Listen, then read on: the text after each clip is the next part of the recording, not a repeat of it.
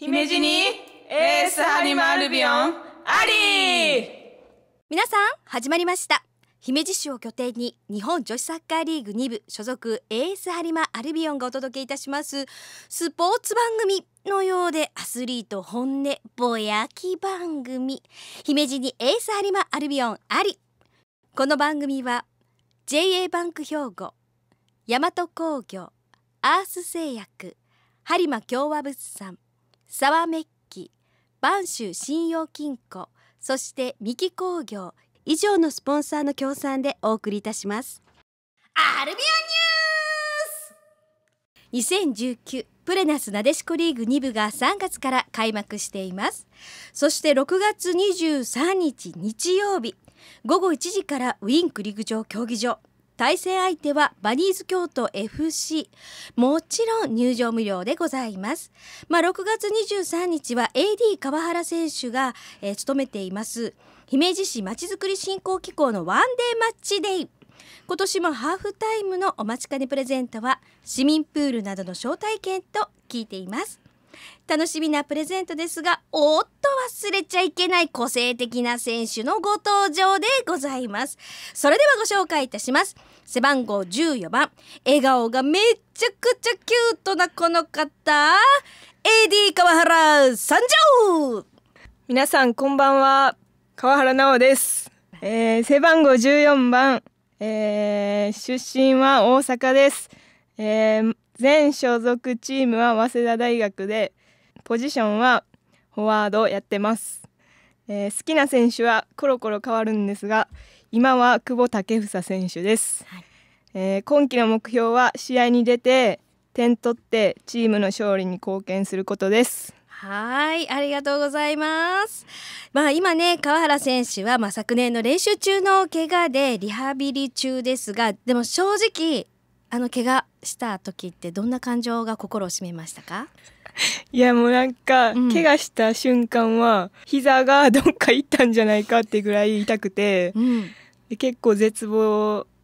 感がすごかったんですけどなんか同じサッカーやってる子で同じ怪我した子がを見てきたので自分がこんななんか落ち込んでたら恥ずかしいなって思いました、うん、まあでも断裂してもまあ心がねまあ、折れてしまったかもしれないけれどもその心が折れそうな時に支えてくれた人って。えー、まあなんかこの怪我をして、うん、いろんな人に支えられてるなっていうのを改めて感じてなんか一番はやっぱ家族お父さんですね。次にやっぱりそのアルビオンで、うん、今同じ怪我して、うん、その安田咲とか、その子さん、うん、千葉その子もね。そうちゃん。そうちゃんね。の支えが大きいですかね、そうなんや、はい、まあでも本当にあのチームメイトっていうか仲間っていいよね。はい。ああなるほど。じゃあねそのね強く立ち上がった川原選手からまあねこの曲リクエストを頂いてますのでじゃあなおからい。いですか、はい、じゃあ曲紹介の方お願いいたします。はい。ワンオクロックで君次第列車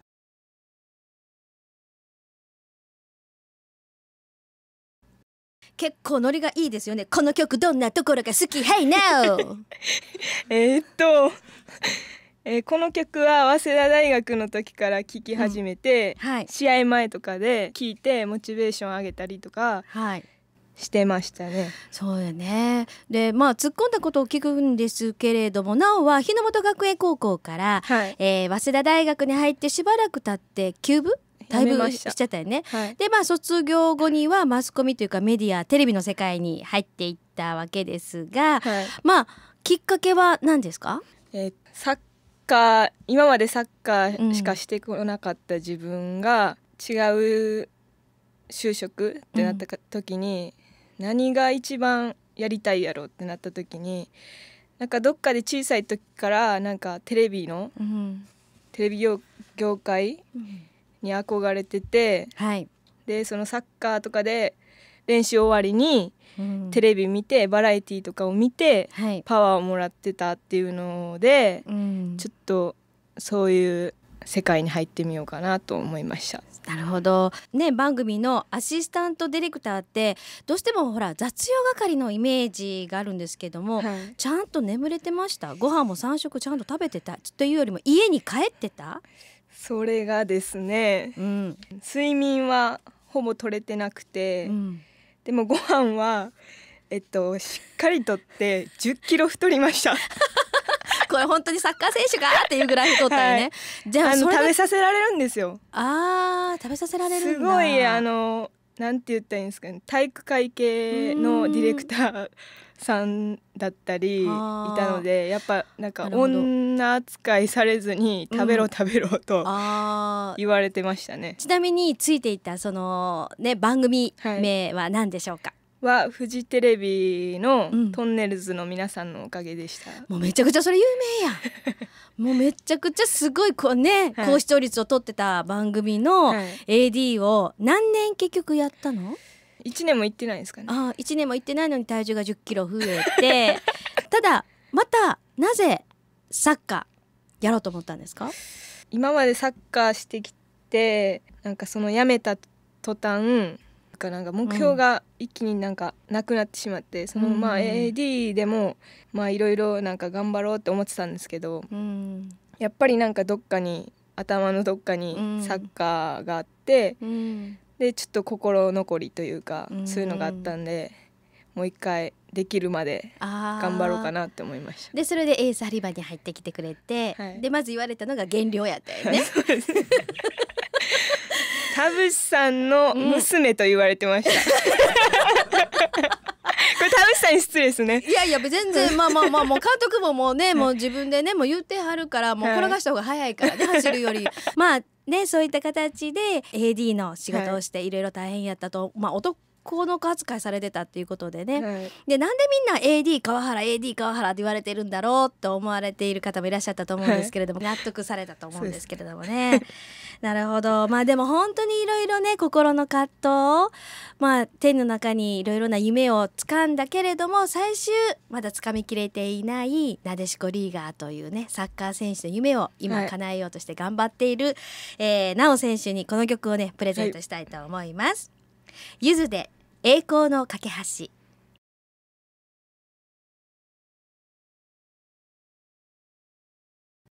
悲しみや苦しみの先にそれぞれの先がある。さあ行こう。振り返らずに走り出せばいい。ねえなちょっとこれもうグッとくるよねめっちゃ染みますね。ねえなおたちじゃなくても今を生きる前を進むのに辛く感じている人たちにはじわーっと心にね染み通るねこの言葉とメロディーなんですけれども、まあ本当にあの栄光の架け橋は私ね魔法の歌だと思ってます。まあそれぞれ聞くうん。方によってあの心にアプローチの仕方が違うのかなと思うんですけれども。まあ辛い時っていうのは下を向いてしまうじゃないですか。はい。よく私小さい時言われてたのが辛い時こそほど上を向けって。うん。あの辛くってこう下を見てしまうと貧乏神ってみんなわかる？貧乏神。なるんですか？そうそうそうそう。その貧乏の神様がね、はい。下に背が低くっているらしい。ちょちっちゃいおっちゃんちゃうだよ。だからその貧乏神と目が合うからダメなんだってだから上を向くとチャンスの神様だとか希望の神様がいるからもう必ず辛い時こそほど上を見なさいっていうこれからうんやります。それ。ね本当にねぼ ぼどうする下向いた時ボールのそばに 貧乏神がいたら、えー思いっきりあのシュート決めてくださいね。わかりました。まあ本当にねまああのマイナスな言葉がねポロッと出てしまう時こそほど、えーその逆のいわゆるあの地獄言葉と天国言葉ってあるように、まあ、天国のそのいい雰囲気が醸し出せる言葉をねたくさん出してもらえたらなと思います。応援メッセージ。さて続いてはスポンサー企業の代表の方からそれぞれメッセージをねえー頂戴しております姫路市まちづくり振興機構の南都理事長からのメッセージをお願いいたします。